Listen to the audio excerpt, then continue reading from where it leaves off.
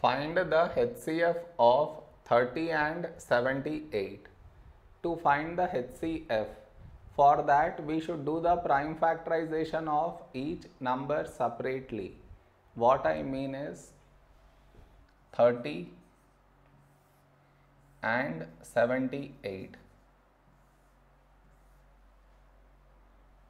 This is your step 1. Next.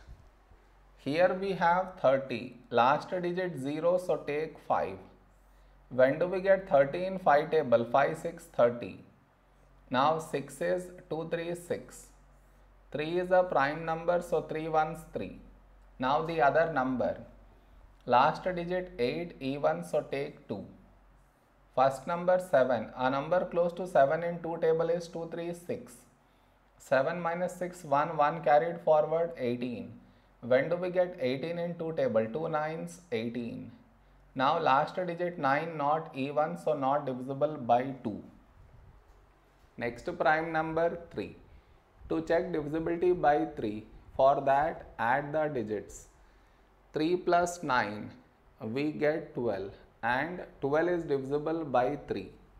So this number also divisible by 3. So take 3. First number 3, when do we get 3 in 3 table? 3 ones 3. The other number 9, when do we get 9 in 3 table? 3 3 is 9. Now 13 is a prime number, so 13 ones 13. Therefore our HCF is HCF is the product of the numbers which should be present in these two places that is here and also here. Here and here. So now let us find the numbers which should be present here and here.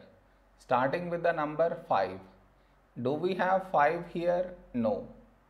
Next number 2 do we have 2 here? Yes. So cut 2 right here. Next number 3 do we have 3 here? Yes. So cut 3 right here. No more numbers have been left out. So our HCF is 2 into 3, 6 is our HCF.